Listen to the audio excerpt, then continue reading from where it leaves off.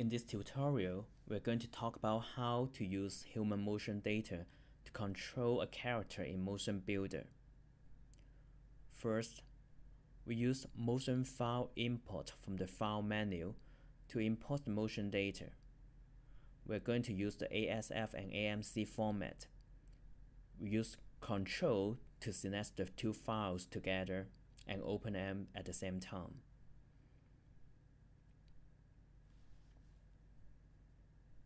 Now we have the motion file. The first frame was added such that we can see the posture very clearly. If you don't see the whole motion, make sure the end frame of your production is well set. Now we set it to 250.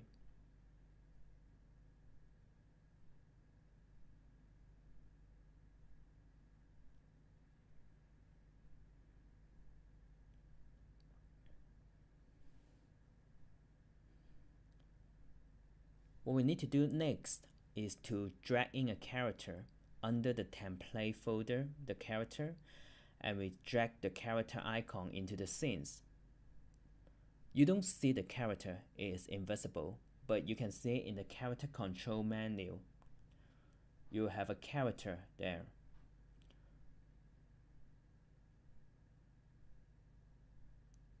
Alternatively, you can go to the S the navigator under character folder, you'll also see the newly dragged in character. This is an invisible character that map the joints of a MotionBuilder character onto the joint structure of the motion file.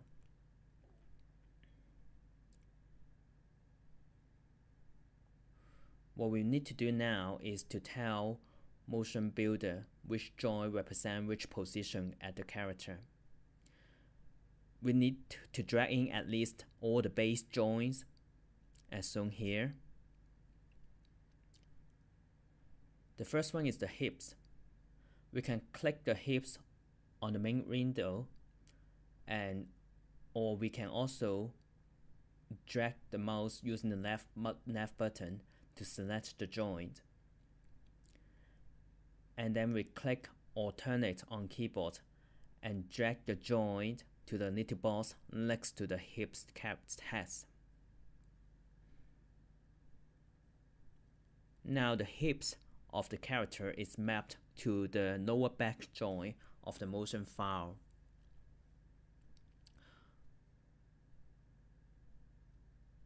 We'll do the same for the upper leg in order to tell whether the character is facing us or not, we consider the foot.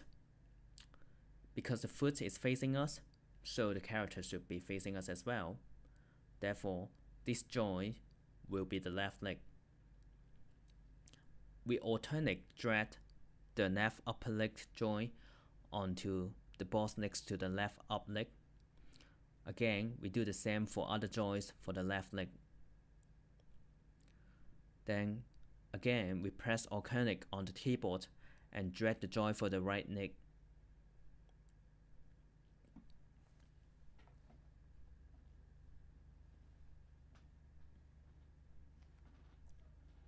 Then it comes to the spine.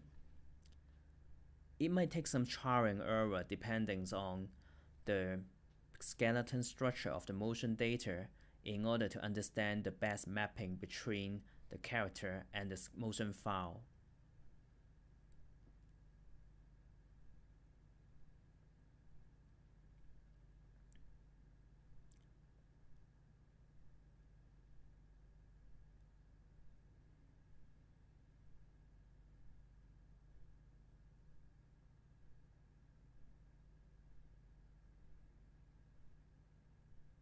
Finally, the head.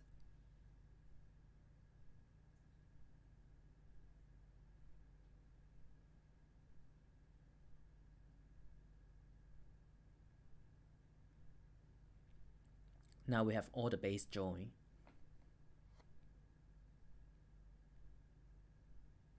We can drag in some extra joint as supplementary mapping information. Say for example the spine, the neck,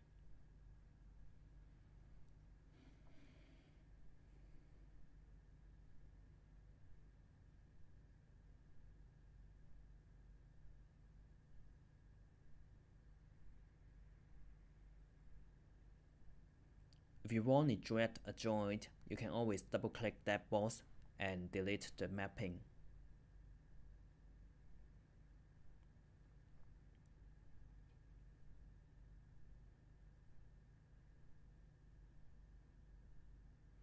Now we have all the joints mapped.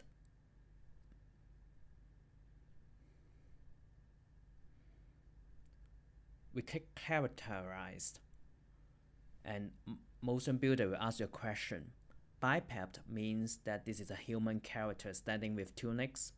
Quadruped means that this is an animal standing with four legs. Therefore, in this situation, we click biped. Now, MotionBuilder realized that this motion file is actually a human character.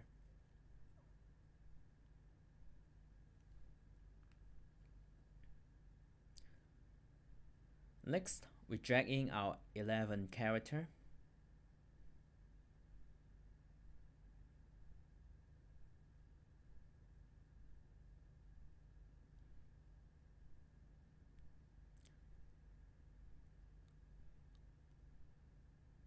and we can select 11 in the character control window. Again, it is advisable that you reset all properties once you drag in 11, just to make sure that we don't have any funny settings. What we wish to do now is to ask 11 to follow the character of the motion, motion file. The name of the input source of the character is also called character. Now you can see that 11 is following the posture of the, of the, of the motion file.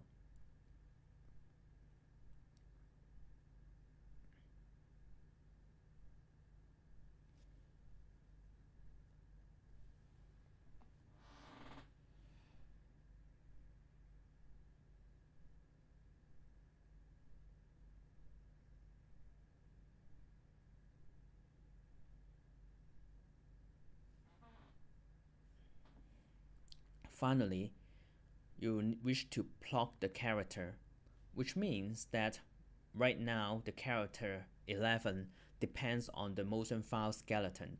By plugging a character, we copy the motion information from the motion file into, into 11 itself.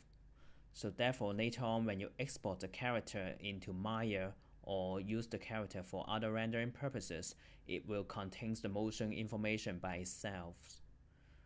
When you press the plug character button and plug the skeleton, you see that motion is unchanged, but now 11 is detached from the motion file.